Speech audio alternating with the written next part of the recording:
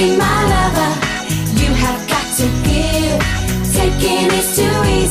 Bonjour à tous, j'espère que vous allez bien. Aujourd'hui, on se retrouve pour un Get Ready With Me inspiration années 90. Il est l'heure de se replonger 20 ans en arrière. Ça ne rajeunit pas tout ça.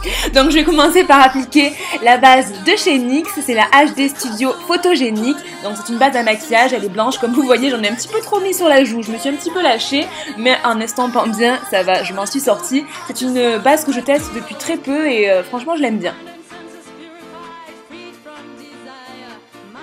Ensuite, j'utilise mon fond de teint, c'est le nouveau de chez Makeup Forever, c'est le Ultra HD. Alors moi je l'ai pris en, teinte Y315 et franchement je, l'aime beaucoup. C'est vraiment un fond de teint qui donne un rendu super naturel, bon logique puisque c'est un fond de teint HD, mais euh, franchement on peut moduler la couvrance et euh, je trouve qu'il unifie très bien sans pour autant qu'on perçoive trop la matière. Euh, franchement je l'aime beaucoup beaucoup.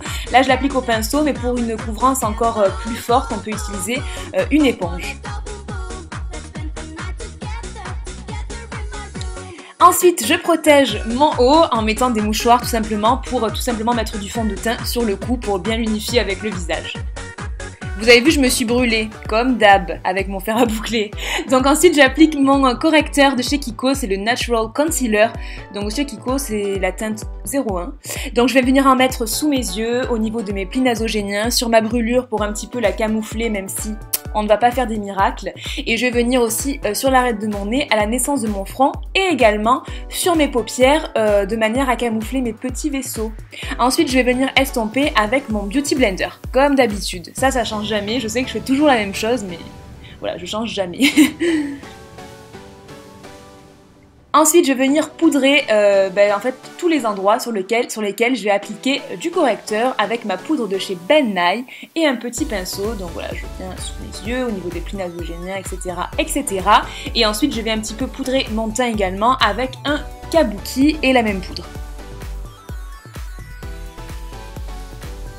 Ensuite, je vais venir réchauffer et sculpter avec ma palette de chez Anastasia Beverly Hills.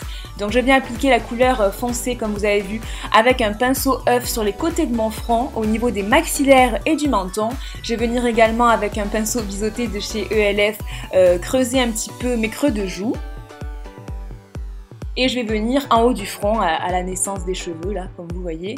Et ensuite je vais estomper avec mon kabuki pour que tout se fonde bien ensemble. Et puis je vais venir sculpter mon nez. Donc en fait avec un pinceau carré pour que ce soit super précis, je vais venir tracer deux traits sur les côtés de mon nez pour l'affiner comme vous voyez. Et ensuite je vais estomper euh, avec un, assez petit pinceau aussi pour rester quand même précis et rester bien sur la zone. Je trouve quand même que ça, change. Euh, ça affine quand même mon nez. J'aime bien cette petite étape.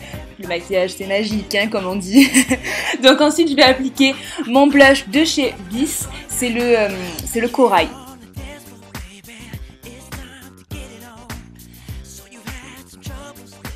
Je vais venir encore une fois estomper avec mon kabuki.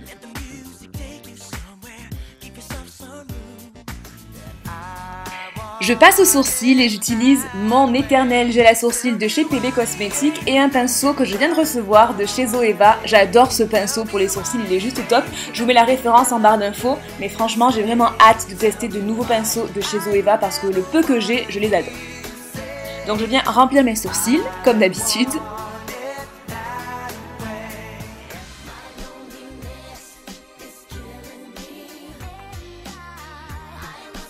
Et ensuite, je vais venir les fixer avec mon gel de chez ELF.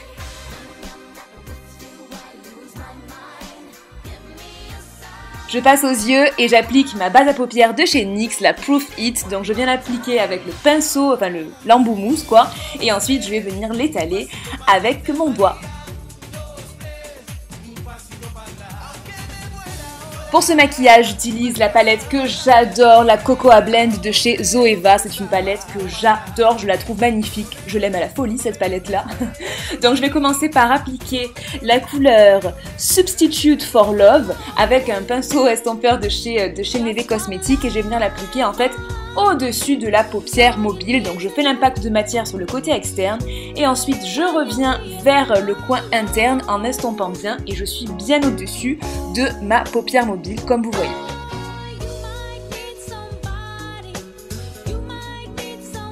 Ensuite, je vais appliquer la couleur Sweeter End avec un pinceau plat de chez Neve Cosmetics et je vais venir l'appliquer sur toute ma paupière mobile tout simplement. Donc soit vous tapotez, soit vous étirez, après au choix.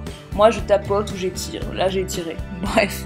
Ensuite je vais appliquer la couleur Bitter Start euh, en coin interne avec un petit pinceau et je vais venir également appliquer de cette couleur là juste sous mon sourcil. En fait c'est vraiment une couleur coquille d'œuf mat mais elle illumine quand même bien, même s'il n'y a pas forcément d'irisé.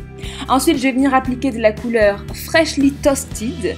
Euh, alors avec un pinceau biseauté, je vais venir faire, comme vous voyez, un petit trait là oblique sur le côté externe et ensuite je vais revenir dans le creux de paupière. Donc en fait, ça va faire comme une espèce de banane.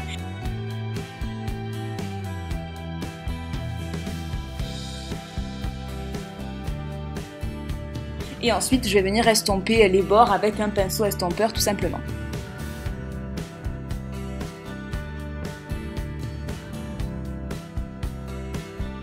Ensuite, je vais venir appliquer de la couleur Beans Are White, pardon, qui est un marron foncé euh, en fait mat.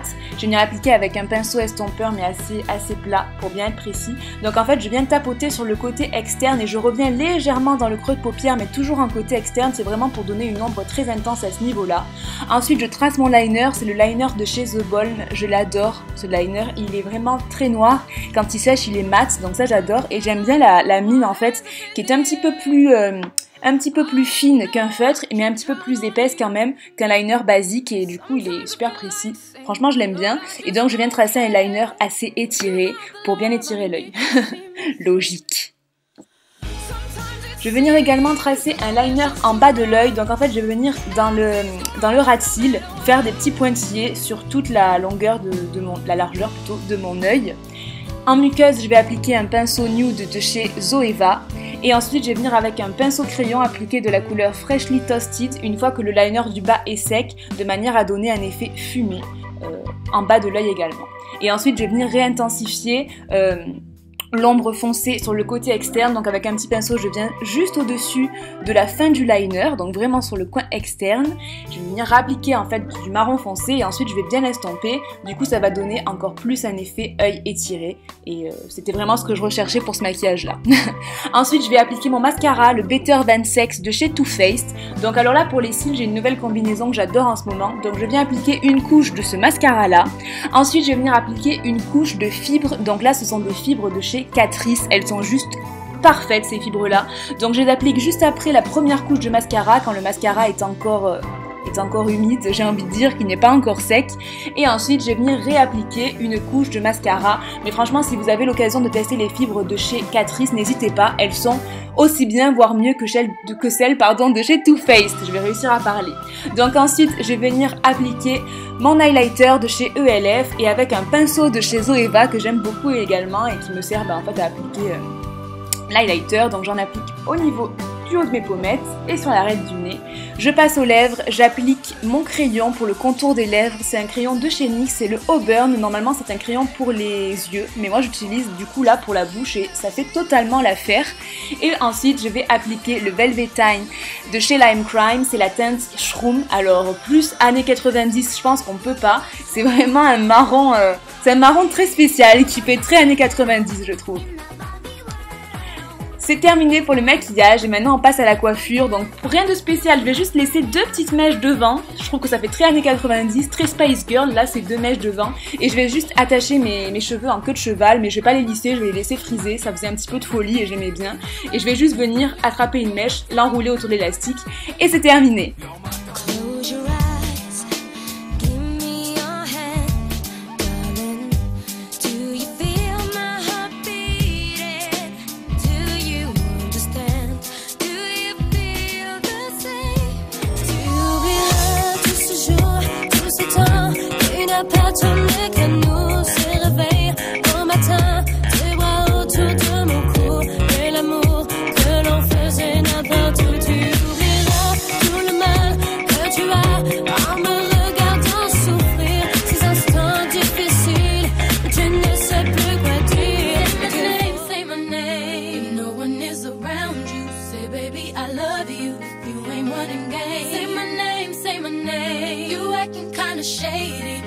ain't calling me baby. Why the sudden change? Say my name, say my name. If no one is around you, say baby I love you. If you ain't game, say my name, say my name. Pour la tenue, je vous attends sur mon blog. C'est une tenue boue. Je vous mets aussi les pièces en barre d'infos si jamais vous voulez.